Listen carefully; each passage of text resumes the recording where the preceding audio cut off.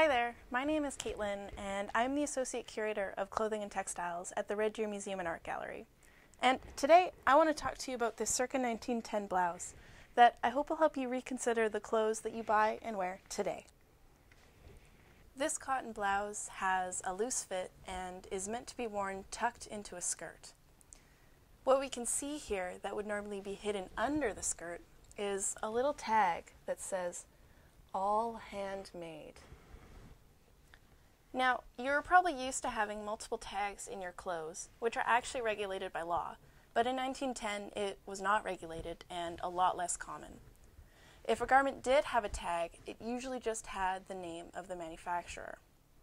So, what did this tag mean in 1910? Well, in fact, this blouse is entirely sewn by hand. It was not sewn on a machine.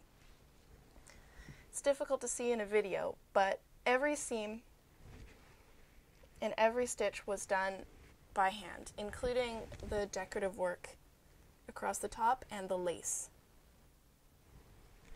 The tag on this blouse reminded me of branding that we use today to talk about artisanal or ethically made clothing. The thing is that almost all clothing is handmade. Sewing clothing requires a lot of manual skill and dexterity, and because of this, we haven't been able to come up with very many machines that can do it for us. So, even clothes that come from big box stores in the mall are handmade, and I'd guess that most of the clothes in your closet have passed through several sets of skilled hands before they got to you.